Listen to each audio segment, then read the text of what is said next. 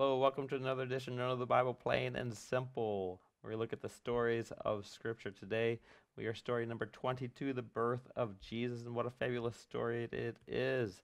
Uh, Luke chapter 2 would be the chapter to read. You really want to read that chapter if you haven't done so already. Uh, she gave birth to her firstborn son and laid him in a manger. Uh, interestingly, in all of our artwork, we have wooden mangers, but in reality, it was probably a stone manger, picture of which I have behind me uh, right now. Now, let's go ahead with the story. Uh, let's start off with main characters, Joseph and Mary. Um, uh, they are engaged to be married. They are living in the northern part of Israel in the Galilee area, around close to the Sea of Galilee ish, a little bit in a town called Nazareth. And um, engaged, uh, but not married yet. An angel comes to visit Mary, tells her that she's going to give birth to a child. She wonders how this is going to be. This child is going to be uh, the savior of her people. And the angel explains the Holy Spirit is going to come upon you and conceive in you this child. So we know that this child is going to be uh, from God and uh, from Mary. Mary says, Let it be to me as the Lord has said. She, though, uh, goes to see Elizabeth because the angel told her that, uh, you know, God can do these things. In fact, uh, your relative Elizabeth is with child right now. So Mary is excited about that. She goes the child is conceived in her. She goes to visit uh, Elizabeth. When Elizabeth hears uh, the greeting of Mary, the child in her womb, John the Baptist, we talked about last week, leaps for joy inside her womb, and she knows that the, there's a special child inside Mary as well. And uh, in response to all this excitement and all this news in front of Elizabeth, uh, Mary proclaims, My soul magnifies the Lord my soul rejoices in God, my, my Savior. Uh, we call that, that um, it's like a psalm or a song uh, that Mary said of praise. We call it the Magnificat, if you've ever heard uh, that word before. Uh, eventually, after John the Baptist is born, uh, Mary goes back up to Nazareth, where her fiance Joseph is. Joseph's a little confused to see his uh, fiance pregnant with child and is uh, is about to divorce her quietly. He wants to be nice to her. He still loves her, and an angel visits him and says for him not to worry, but that this child is from God, and that he is to marry her and take care of this child, and name, give him the name Jesus. Uh, there is a census that takes place in the Roman world, and people have to go back to their ancestral towns. Uh, for Joseph and for Mary, they are of the household of David.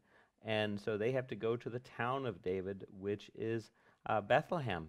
And so they travel uh, south uh, to Bethlehem, which is right outside Jerusalem, not far from Jerusalem. And it is in Bethlehem where they uh, find a place in um, probably part of a person's house in a, st- a stable area in, in the house. And there she gives birth to the child and lays him uh, in the manger in that part of the house, and um, that's where he spends his first days. And uh, whether you know the story or not, uh, the night from which he was born, angels appear uh, to to shepherds uh, that are watching their flock by night, and the angels announce the birth of the Savior to the shepherds and uh, tell the shepherds how to find the baby. That the baby is born this night is laying in a manger, wrapped in swaddling clothes. And so the manger, the the shepherds uh, get up and uh, go and see this thing uh, that has been told them, and they find the child and they rejoice uh, with Mary and Joseph as they worship the little baby, uh, newborn Jesus um, that is there lying in the manger and th- that's really that's really the, the the story. We call that, of course, the Christmas story. And uh, there's more that comes afterward.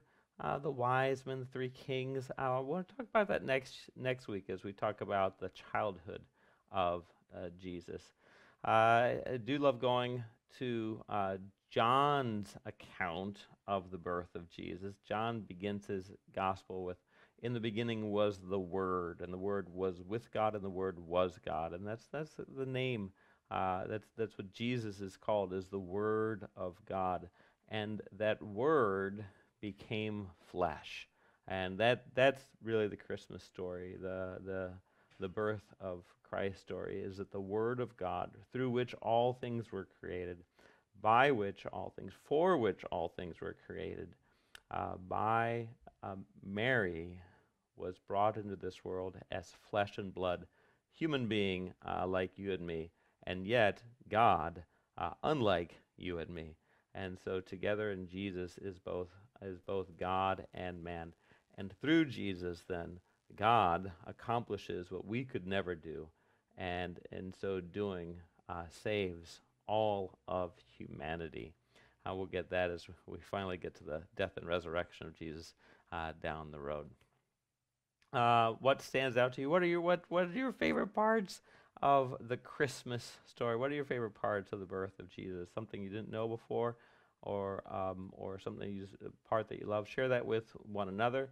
And then, of course, spend some time in prayer for each other. And as always, close with the Lord's Prayer. And as I mentioned, we will do the, uh, the childhood uh, of Jesus next week. Have a good week. Bye bye.